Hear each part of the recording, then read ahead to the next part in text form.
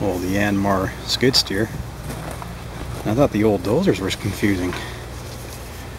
That's forward one, forward two, spin left, spin right, one reverse speed. What the hell this is? Parking brake maybe?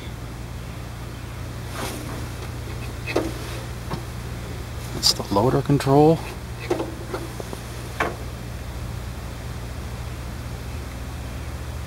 Foot pedals. Holy shit, this thing is confusing. Yuck.